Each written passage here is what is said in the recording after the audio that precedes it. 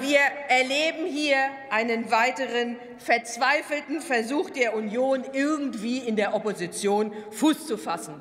Es ist doch aberwitzig, um nicht zu sagen absurd, dass ausgerechnet die Union sich jetzt kritisch zur einrichtungsbezogenen Impfpflicht einlässt. Und an vorderster Front natürlich mal wieder Markus Söder.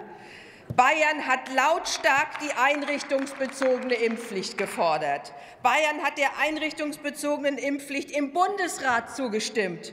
Und Bayern möchte jetzt die einrichtungsbezogene Impfpflicht nicht umsetzen. Finde den Fehler. Das passt doch alles vorne und hinten nicht zusammen, meine Damen und Herren.